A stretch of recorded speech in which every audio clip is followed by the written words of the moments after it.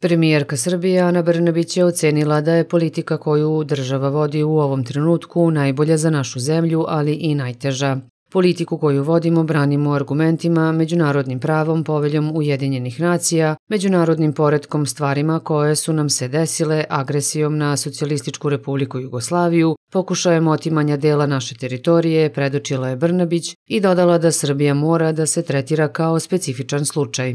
Koliko god neki sumnjali u to da ćemo održati kurs, mi ga održavamo argumentima koje imamo. Koliko dugo će nam to uspevati, nisam sigurna, ali je svaki dan važan, istakla je premijerka.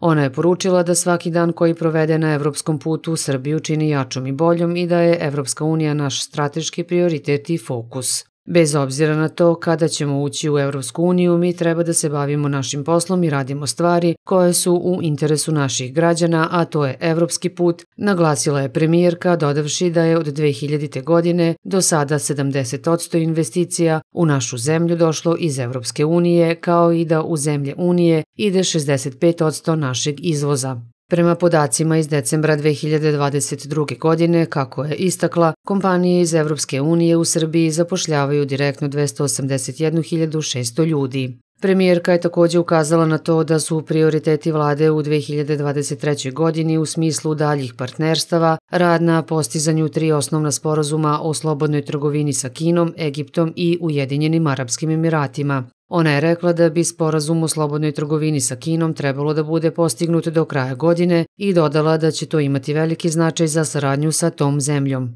To nam je prioritet u ovom trenutku i verujemo da će nam to otvoriti dodatni prostor za trgovinsku razmenu i razmenu usluga, ali i za priliv novih tehnologija u Srbiju sa posebnim fokusom na veštačkoj inteligenciji navela je predsednica vlade. Brnabić je navela podatak da je naš izvoz u Kinu u poslednjih 10 godina skočio čak 153 puta, kao i da je u 2022. godini dostigao 1,1 milijardu evra, po čemu je ta zemlja veoma važan partner Srbije. Predsjednica vlade je poručila i da nema zaustavljanja procesa reformi državnih preduzeća, kao i da će prvo biti reformisani EPS i Srbijagas, a zatim i železnička preduzeća. Vlada mora sa tim da se uhvati u koštac. Da li ima nazad? Ne. Mi to moramo da uradimo i zbog konkurentnosti i produktivnosti naše privrede i ekonomije, predočila je ona.